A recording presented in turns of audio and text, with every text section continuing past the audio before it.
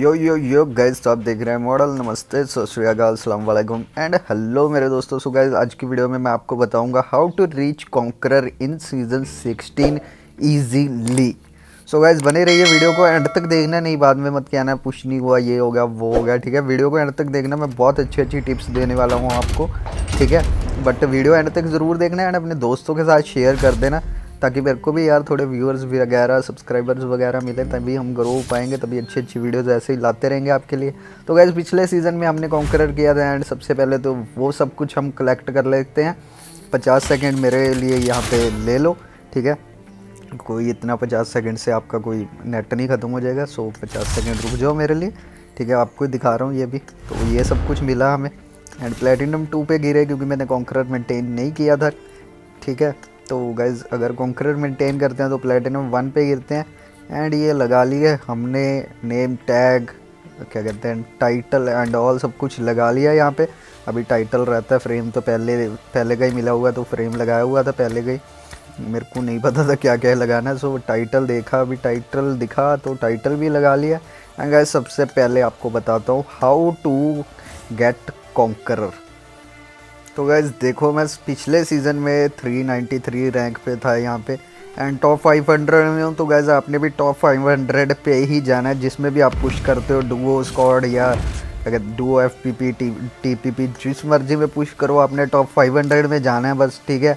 तो gas squad में भी अभी डायमंड डायमंड पे चल रहा है, ठीक है? डायमंड फाइव पे चल रहा है अभी, मेरे को, मैं स्कॉड में तो पिछले सीज़न इतना पुश नहीं किया तो स्कॉड में तो मेरे को काफ़ी ज़्यादा पॉइंट्स चाहिए होंगे अगर मैं इस सीज़न पुश करता हूँ, ठीक है? तो डुओ में पिछले सीज़न पुश किया था एंड प्लेटिनम टू पे गिरा हूँ, मेरे को सिर्फ़ 120 के आसपास पॉइंट चाहिए। मैं टॉप हंड्रेड में आ जाऊँगा डुओ टीपीपी में, ठीक है?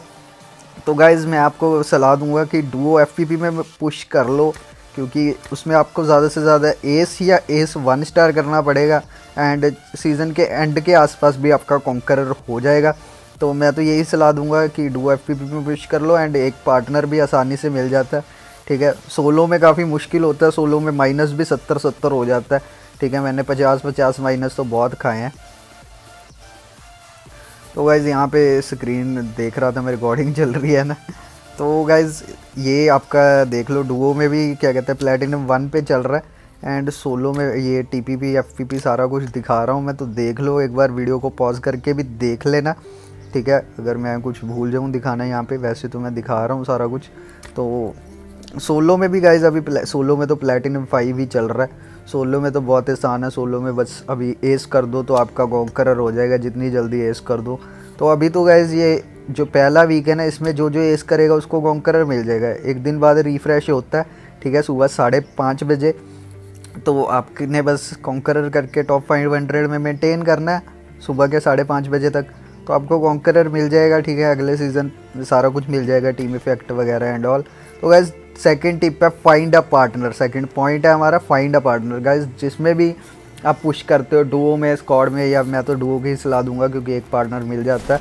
नहीं, बंदे बीच में भी छोड़ के चले जाते हैं सो उसका ध्यान रखना, ठीक है. पार्टनर ढूंढो, एक अच्छा बंदा जिसने मेरे साथ पिछले सीज़न में पुश किया था, उसके साथ ही मेरा एंड में कॉन्करर हुआ है, ठीक है. नहीं पीछे पीछे मैंने एक बार फिर पहले भी ट्राई किया था। बंदे ना बीच में छोड़ के चले जाते हैं आप लोगों को, ठीक है? तो ध्यान रखना, आपके साथ ऐसा कुछ ना हो, ठीक है? आराम से पुश करो भाई कोई बंदा ऐसा ढूंढो जो आपको बीच में छोड़ के ना जाए। एंड पार्टनर ढूंढना गैस बहुत ज़रूरी है, नहीं तो रैंडम्स के साथ खेलोगे माइनस होगा। ठीक है? रैंडम्स ऐसे ही होते हैं रश खेलते हैं, ये करते हैं, वो करते हैं। अगर आपने कॉन्करर करना है कैंप करना पड़ेगा गाइज़ ठीक है कैंप नहीं बोल रहा हूँ मतलब होल्ड करना पड़ता है। तो यहाँ पे बहुत बसड़ हो गई थी।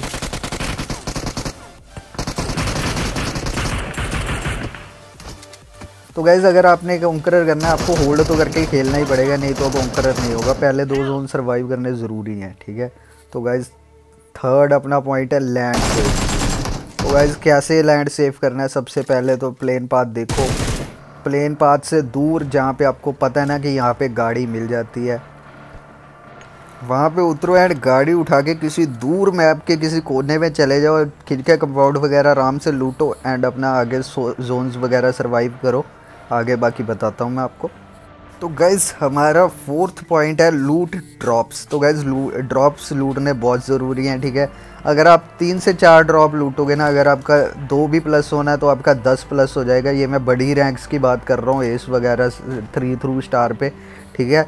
तो ड्रॉप्स लूटने से भी आपका काफ़ी प्लस होगा, अगर आप ड्रॉप की गन्स वगैरह से बंदे मारोगे, ठीक है? तो गैज़ अगला पॉइंट है हमारा सर्वाइव फ़र्स्ट थ्री ला फ़र्स्ट थ्री जोन्स ठीक है? तो गैज़ इसमें क्या करना है? जब आप गाड़ी उठा के जाओगे ना, अपने शुरू में बिल्कुल फाइट नहीं लेनी है, नहीं तो गैज़ पचास पचास माइनस खाओगे, ऐसे ही बैठे रहोगे उसी टीयर पे। तो उसका कोई फ़ायदा नहीं है। ठीक है? अपना क्या कहते हैं, तीन जोन आराम से हीलिंग्स वगैरह उठाओ, तीस से चालीस बैंडेज उठाओ।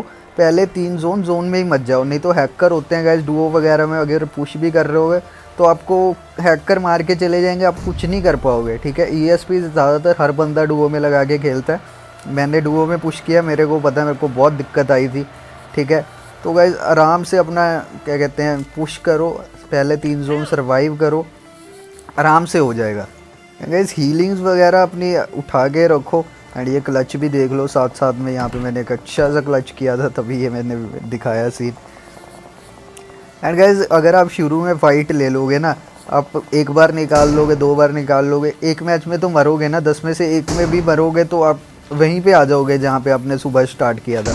तो शुरू में फ़ाइट लेने का कोई सेंस नहीं बनता है। जहाँ तक अगर आप चाहते नहीं हो कि हाँ मैं सुबह वाले सारी अपनी मेहनत वेस्ट कर दूँ एंड फिर से वहीं से स्टार्ट करूँ। अगर आप ये नहीं चाहते हो तो आप आराम से सेफ़ खेलो गए होल्ड करके खेलो। कॉन्करर तो ऐसे ही होता है एस तो जैसे मर्ज़ी चले जाओ रश खेल के जाओ, जो मर्ज़ी करो। एस ऐसे ही हो जाता है, इसकी कोई बड़ी बात नहीं है एस करना। बट अगर आपने कॉन्करर करना तो आपको ऐसे ही खेलना पड़ेगा। पहले दो तीन जोन सर्वाइव करो, फिर जाके टॉप ट्वेंटी में जाके फाइट लो। जब आप किसी बड़े टीयर पे चले जाते हो, जैसे एस वगैरह पे तो आपको वहाँ पे क्या करना पड़ेगा? आपको टॉप टेन में फाइट लेनी पड़ेगी। टॉप टेन में आराम से चार पाँच किल निकल जाते हैं। चार पाँच किल बहुत होते हैं गाइज़ ज़रूरी नहीं है दस दस किल निकालने शुरू में एज तक निकालो गाइज़ आठ आठ किल ठीक है? टॉप ट्वेंटी थर्टी में फाइट लेके आठ, दस किल्स निकल सकते हैं अगर आप चाहो। बाकी पहले दो तीन बॉट मारो, ठीक है ना? तो आठ, दस किल निकालने कोई बड़ी बात नहीं है। तो यहाँ पे हमने दो को नॉक किया। एक को फिनिश किया एंड गाइज़ एक और आ रहा था अभी।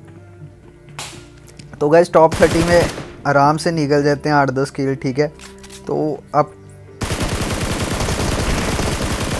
तो ये आराम से आ रहे थे एक एक करके, ये होती है गलती। इनके दो फिनिश कर दिया मैंने, अभी दो ही बचे हैं, उनको भी मैं आराम से फिनिश कर सकता हूँ बट अपार्टमेंट में कभी पुश नहीं करते ऐसे गंदे तरीके से।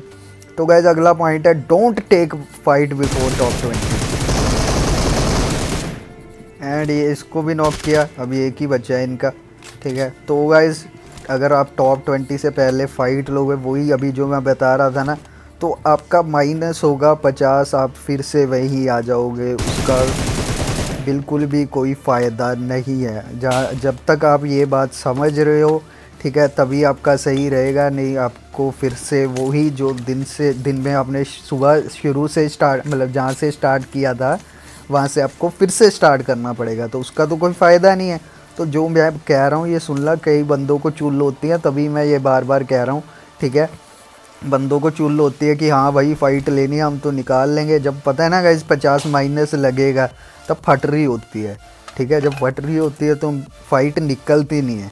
यही बात होती है, नहीं जब डर नहीं होता ना सीने में, तब फाइट आराम से निकल जाती है। स्कॉड से मेरे स्कॉड में मेरे से जोन सी मर्ज़ी फ़ाइट लगा लो, ठीक है, मैं निकाल दूँगा। बट डुओ में वही फ़ाइट मेरे को पता ना, जब मेरा माइनस होगा, मेरे को पचास मतलब दस पॉइंट चाहिए या सात पॉइंट चाहिए ठीक है, अगले टीयर के लिए। तब जब फट रही होती है ना, तब माइनस ही होता है, ठीक है? तो फाइट मत लेना टॉप ट्वेंटी से पहले, यही सलाह बाकी गाइज़ आप जो मर्ज़ी करो, मेरे को कोई दिक्कत नहीं है। तो अगला पॉइंट है हमारा focus on winner winner chicken dinner and ये आई गेस हमारा लास्ट पॉइंट है।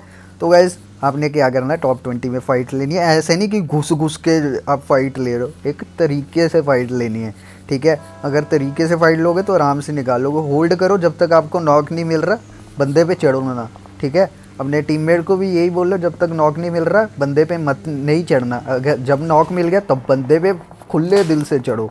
बट ऐसे भी नहीं कि वन वी टू कर जाए आपको, ठीक है ना? तो ध्यान से चढ़ो फिर भी बट जब आपको नॉक मिल गया, आराम से निकल जाएगा। नहीं तो आप यहाँ पे, जैसे मैं मर ना, आप मेरी तरह मरोगे। सो गाइज़ आज की वीडियो इतनी। Like share and comment subscribe to model bye sayonara like share comment share bye guys sayonara